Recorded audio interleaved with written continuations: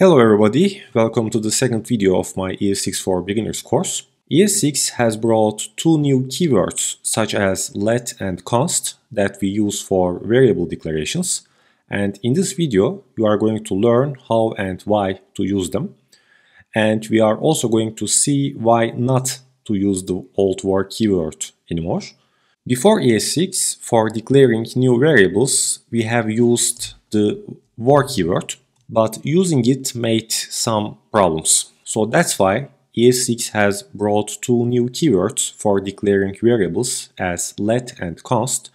You will see how to use them very soon, but first let's see what the problem is with using the old var keyword. The first problem is that in programming general, when we declare a variable like var city London and let's log it to the console. Our new variable city is not allowed for redeclaration. However, if we declare the same variable name again as var city and assign it to another city, Berlin, what we see is that our variable is overwritten, but this shouldn't be happen. What it should happen is that when we make by mistake a redeclaration, for example, we should receive an error. So when I change the var keyword to let, this time we receive an error saying that basically the identifier has already been declared. This should be happen like in other programming languages. So this was one of the problems of the var keyword. And there is also a second common problem that the var keyword causes, which is a scoping problem. For example, let's say we have an if case here. And inside the if case, I have a variable.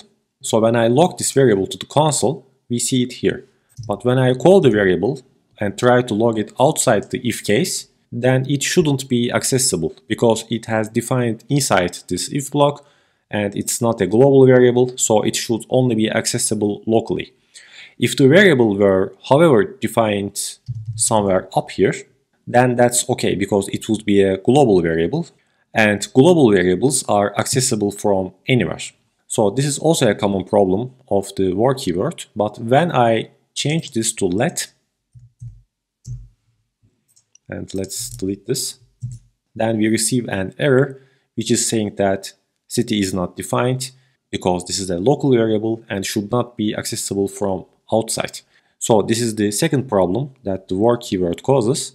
If you are still using the var keyword, you can stop using it and you should replace it with let.